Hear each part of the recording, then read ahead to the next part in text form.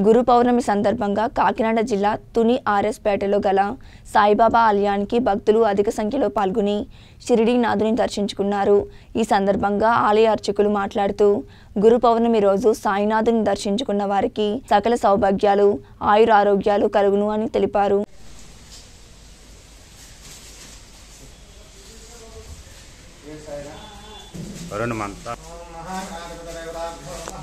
ఎదరికి రమ్మని ववामहे कविं कवीनामुपमस्तम् ज्येष्ठराजम् ब्रह्मणाम् ब्रह्मणस्पद आमष्टन्मन्नोदगस्तेर्भागम् प्रणोदेवे सरस्वते मादे भर्वाजनेवते धेनामरुत्रजवत् श्रीमहागणाधिपतिदेवताभ्यो नमः श्रीसमर्थसद्गुरुसागीश्वरदेवताभ्यो नमः हरिः मूलादिवासा सुधाश्राविणम् दत्तमप्यप्रियन्तम् परम् कल्पवृक्षादिकम् नमामीश्वरम् जय మన ఆర్ఎస్పేట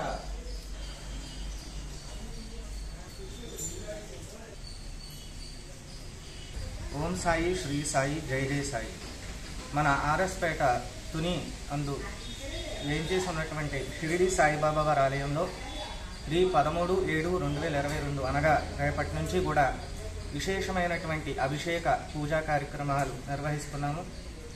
అదేవిధంగా అదనంతరము బాబావారికి హారతి కార్యక్రమము ఈ యొక్క ప్రసాద వితరణ కార్యక్రమం కూడా జరుగుతుంది. అదేవిధంగా లక్ష్మీవారం నాడు కూడా విశేషంగా అభిషేకము పూజా కార్యక్రమాలు నిర్వహిస్తున్నాము. ఈ గురు పౌర్ణం అనేటువంటిది వ్యాసుల వారి జయంతి. మనకి మన సమర్థ సద్గురువు కూడా గురువు కాబట్టి ఆయనకు కూడా ఈ యొక్క గురు పూజోత్సవం చేయడం జరుగుతుంది. జై సాయిరామ్ జై జై సాయిరామ్.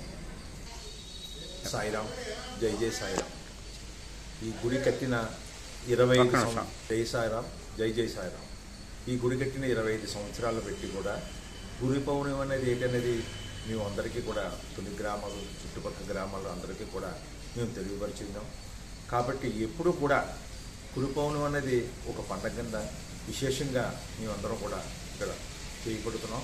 కాబట్టి ప్రతి వారు బాబాను వచ్చి దర్శనం చేసుకొని తమ కోరికల్ని తీర్చమని చెప్పేసి బాబా గారిని కోరుకోమని చెప్పేసి మనస్ఫూర్తిగా మేము కోరుకుంటున్నాం.